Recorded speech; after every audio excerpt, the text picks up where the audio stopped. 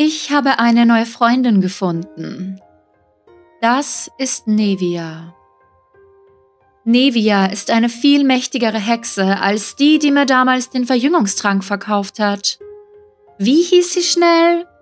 Ach, ist doch auch egal. Die vergangenen Wochen habe ich im magischen Reich verbracht. Für einen guten Preis kann man alles kaufen, auch die ewige Jugend. Nevia hat es geschafft. Ich bin für immer jung. Hier sehen wir unsere überglückliche Serena. Denn wie wir im Intro gesehen haben, sie hat es nun wirklich geschafft. Sie wird für immer jung bleiben. Dazu verholfen hat ihr ihre neue Bekanntschaft Nevia Landerford. Sie ist nämlich eine sehr, sehr mächtige Hexe und hat es geschafft, dass unsere Serena einfach nie wieder in ihrem Leben altern wird. Aber nun ist sie von dieser aufregenden Reise endlich zurück nach Hause gekehrt und ich bin schon gespannt, was ihr Ehemann dazu sagen wird. Immerhin war sie schon seit Wochen nicht mehr zu Hause. Ryan hat jetzt natürlich gehört, dass sie wieder nach Hause gekommen ist und stürmt sofort auf sie zu. Wir werden jetzt einmal mit ihr streiten und zwar streiten wir über die Erziehung ihrer Tochter. Serena, wo warst du? Du kannst mich und Coco nicht einfach alleine lassen. Du hast Verantwortung. Wir haben ein Kind zusammen. Wir sind verheiratet. Nee. Warte.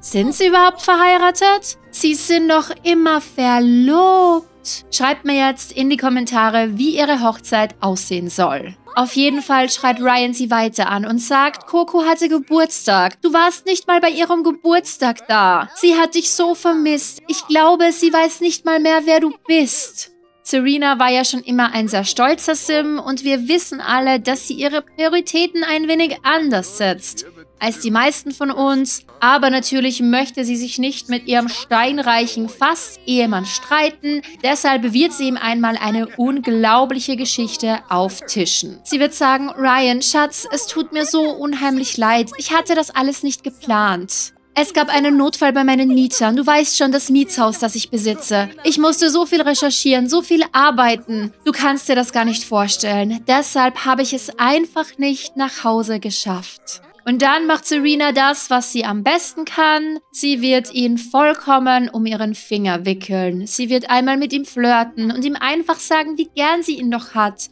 Und dass sie sich nicht streiten möchte. Dass ihre Ehe doch das Beste ist, was ihr jemals passiert ist. Dann wird sie einmal seinen Hals küssen und dann werden sie ein Techtelmechtel miteinander haben. Das ist auch wieder mal ein sehr klarer Beweis, wie sehr sie sich um ihre Tochter kümmert. Sie hat sie noch nicht einmal begrüßt. Aber das Techtelmechtel brauchen wir für die Story auch. Immerhin soll unsere Cinderella zwei Stiefschwestern haben. Also schreibt mir schon gerne Namensvorschläge in die Kommentare. Möglicherweise ist unsere Serena ja schwanger. Die Reise war für unsere Serena anscheinend unfassbar anstrengend. Deshalb ist ist sie jetzt auch direkt eingeschlafen und Ryan ist eben ein guter Vater, deshalb wird er sich jetzt ein wenig um Coco kümmern. Er wird einmal nach ihr sehen, immerhin ist sie unfassbar traurig, dann wird er sie einmal liebevoll umarmen. Irgendwie kann ich mir beim Anblick der zuckersüßen Coco gar nicht vorstellen, dass sie Cinderellas böse Stiefschwester werden soll. Zum Thema Cinderella übrigens. Da habe ich euch ja schon öfter gefragt, was wir mit dem mysteriösen Kind namens Cinderella machen sollen. Also, das eben gleich alt ist wie unser Navin. Viele von euch waren ja dafür, dass wir sie adoptieren und dass das unsere Cinderella wird. Aber irgendwie ist sie schon zu alt und andererseits hat sie auch eigene Eltern. Das wäre dann nicht adoptieren, sondern entführen. Und da hatte Franzi in den Kommentaren eine tolle Idee. Man könnte ja sagen, dass Snow einen Unfall hat und Cinderella sie vor ihrem Ableben bewahrt. Und deshalb benennt Snow ihre jüngste Tochter dann Cinderella. Sind sie nicht absolut entzückend? Meine Jungs gehen heute zum Abschlussball. Navins Verabredung kenne ich sogar. Es ist Chillian. Er meint, sie sind nur Freunde, aber ich weiß nicht, sie wären schon ein schönes Paar. Damon hat mir nicht erzählt, mit wem er hingeht. Er ist leider gerade in einer schwierigen Phase. Die beiden verstehen sich auch nicht besonders gut. Sie streiten die ganze Zeit. Und hier sind wir nun bei unserer Familie Parker. Navin versucht sich hier gerade beim Kochen. Er möchte Eier und Toast machen. Und um ehrlich zu sein, habe ich ein bisschen Angst, denn vor wenigen Minuten hat er die Küche in Brand gesteckt. Aber eines muss man ihm lassen. Er hat das Feuer dann auch selbst wieder gelöscht. Wir haben heute einen sehr aufregenden Tag, denn es ist Samstag. Heute ist Abschlussball und unser Navin geht mit seiner noch nur guten Freundin Jillian hin. Jillian hat ihm am Ende des letzten Parts ja gestanden, dass sie Gefühle für ihn hat. Er ist sich noch nicht ganz sicher, hat ihr das auch so kommuniziert, aber der Abschlussball wird sozusagen ihr Testdate. Also da werden wir einfach schauen, ob die beiden besser nur Freunde bleiben oder ob wirklich mehr daraus werden kann. Wer ganz sicher nicht beim Abschlussball sein wird, das ist unser Damon. Der hat seiner Fastfreundin Catherine nämlich schon versprochen, dass die beiden gemeinsam den Abschlussball schwänzen werden. Snow hat davon nicht die geringste Ahnung. Sie war mit den beiden ja gerade erst unterwegs und hat ihnen neue Outfits gekauft. Aber wie könnte es anders sein? Damon will sich natürlich mal wieder gegen alle Autorität auflehnen und möchte nicht zum Ball gehen. Außerdem sind leider alle aus der Familie unfassbar traurig, denn unsere Sprinkles ist leider von uns gegangen. Aber die Familie Parker wäre nicht die Familie Parker, wenn sich die Übereignisse nicht wie immer überschlagen würden. Heute haben auch noch die Drillinge Geburtstag, also Tayo, Adam und Christopher werden heute zu Kindern und morgen wird unser Noah schon zum Teenager. Noah und Damon sitzen gerade hier unten beim Frühstückstisch. Noah wird sich einmal über seine Probleme beschweren und wird Damon einfach sagen, dass er Sprinkle so, so sehr vermisst und wird ihm dann ein wenig von der Schule erzählen. Um genau zu sein, erzählt er ihm davon, wie sehr er sich schon darauf freut, seinen Geburtstag mit seinen zwei Freunden zu feiern. Unser kleiner Noah hat nämlich eine kleine Jungsklicke gegründet. Einer seiner besten Freunde ist Mac und dann gibt es außerdem noch Anakin. Snow möchte natürlich auch, dass Noah einen schönen Geburtstag hat und deshalb werden wir heute eine Pyjama-Party veranstalten. Also während die Zwillinge beim Abschlussball sind, wird Noah seinen Geburtstag mit einer Pyjama-Party feiern. Er ist unser Gastgeber und einladen wird er Anakin und dann noch Mac.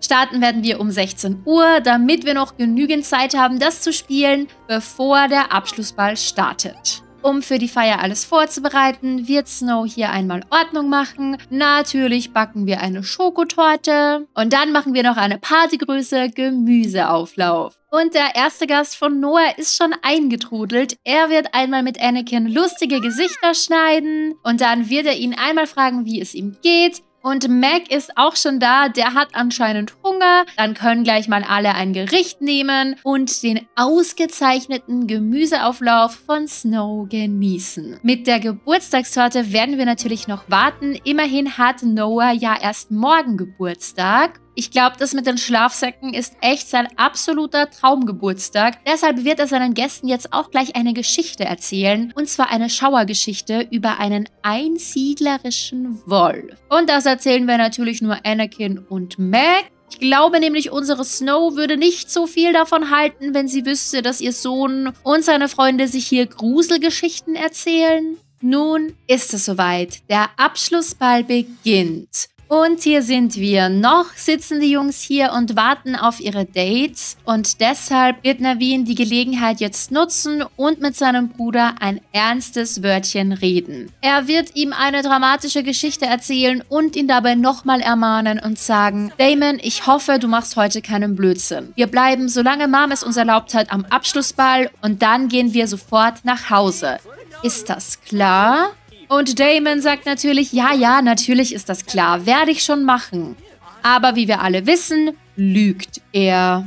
Und da kommt auch schon Catherine auf die beiden zu. Damon wird einmal hingehen und wird sie einmal umarmen. Und dann können die beiden hier einen Fruchtpunsch nehmen. Was? Navin ist Abschlussballkönig? Oh mein Gott, wie toll! Und sein Date hat es gar nicht mitbekommen. Jillian ist nämlich viel zu spät aufgetaucht und dann ins Badezimmer verschwunden und hier macht sie Sit-Ups. Aber Navin wird sein Date jetzt erstmal offiziell begrüßen. Er wird hingehen und wird einen mutigen Anmachspruch loslassen. Immerhin fühlt er sich gerade sehr selbstsicher, weil er zum Abschlussballkönig gewählt wurde. Oh, und jetzt tanzen die beiden miteinander. Ich habe zwar keine Ahnung, warum meine Sims dafür immer rausgehen, aber es ist absolut zuckersüß. Und nun ist der Abschlussball auch schon vorbei. Ein wirkliches Date war das für die beiden jetzt nicht. Immerhin ist sie auch viel zu spät gekommen. Er wird ihr jetzt aber einfach nochmal sagen, wie toll sie aussieht und wird mit ihr dann noch eine tiefgründige Unterhaltung führen. Ich schätze, die beiden sprechen einfach davon, dass sie in Kürze die Schule abschließen werden und ja auch planen, an derselben Uni zu studieren. Und deshalb ist er sich nicht sicher, wohin das mit den beiden führen soll. Nevermind, Navin hat für sich selbst entschieden, er ist unsterblich in Jillian verknallt dann ist das Date für ihn anscheinend anders verlaufen als für mich. Und weil es nun schon nach Mitternacht ist und Navin seiner Mom versprochen hat, dass er zeitig nach Hause kommt, will er jetzt eigentlich auch nach Hause gehen. Aber wo ist Damon? Von ihm fehlt einfach jede Spur. Deshalb muss er sich wohl oder übel allein auf den Nachhauseweg machen. Und nun ist unser Navin wieder zu Hause angekommen. Er ist unfassbar müde, deshalb wird er sich erstmal ins Bett legen, aber er möchte natürlich mit Damon heute noch ein ernstes Wörtchen reden. Tayo ist älter geworden. Ich habe die Geburtstage der Drillinge vergessen. Das ist natürlich problematisch. Unser Tayo ist ja unser Happy und deshalb machen wir ihn engelsgleich. Unser Adam war vorsichtig und er wird anhänglich. Und unser Christopher, der wird albern. Während wir weg waren, hatte übrigens auch Anakin Geburtstag. Der ist jetzt ein Teenager und irgendwie unfassbar gemein und streitet sich die ganze Zeit mit Noah. Bevor es für die Familie auf ins Bett geht, wird auch Noah noch einmal die Kerzen auspusten und dann wird er zum Teenager. Für unseren Noah hatte Kitsune übrigens einen tollen Vorschlag. Sie hatte gemeint, Noah könnte ja so ein bisschen im Baggy-Stil sein. Und das passt einfach perfekt. Er schläft gerne, er meditiert gerne, er entspannt gerne, er legt viel Wert auf Wellness, er liebt Yoga und hat fast nur Jogginghosen an. Genauso wird unser Noah. Deshalb würde ich ihm als Bestreben auch gerne innerer Frieden geben. Obgleich wahre Harmonie recht vergänglich ist, ist es wichtig, Hilfsmittel zu entwickeln, um negative Gefühle abzuschwächen. Ich sehe das bei ihm auch so ein bisschen als Überkompensation. Immerhin ist es in seinem Zuhause immer sehr laut. Es ist sehr viel Babygeschrei. Seine zwei älteren Brüder streiten die ganze Zeit. Es ist einfach immer sehr, sehr turbulent und deshalb sehnt er sich sehr nach Ruhe. Und neben faul geben wir ihm als zweites Merkmal vegetarisch, denn für Noah sind alle Lebewesen gleich viel wert. Wenig später erwacht Navin wieder, als sein Bruder Damon nach Hause kommt. Und nun explodiert er. Er wird damit beginnen, ihn seine Abneigung spüren zu lassen und wird einfach nur schreien, wie kannst du Mom das antun? Niemand von uns wusste, wo du warst. Aber ich habe es dir schon mal gesagt, wenn das nochmal vorkommt, ich werde dich verpetzen. Dann wird er ihn noch einmal beleidigen und ihn einmal anstacheln, denn unser Navin ist ja ein kleiner Hitzkopf das heißt, er hat seine Gefühle und seinen Hass jetzt nicht wirklich unter Kontrolle. Dieser Streit hier artet wirklich komplett aus. Die Beziehung der beiden wird wirklich immer, immer schlechter. Aber möglicherweise finden die beiden ja wieder zusammen, weil ihrer Mutter etwas Schreckliches zustößt. Denn an diesem Tag passiert noch etwas, mit dem wohl niemand gerechnet hätte. Ich bin eine gute Mutter, auch wenn mein Ehemann etwas anderes denkt. Ich meine, seht mich an. Nur für mein Baby bin ich heute mit diesen Schuhen im Park unterwegs. Heute hat Baby nämlich Geburtstag und alles dreht sich um sie. Moment. Ist das etwas No? Ich wurde belogen, wie konnte er es wagen? Schneewittchen lebt. Aber nicht mehr lange.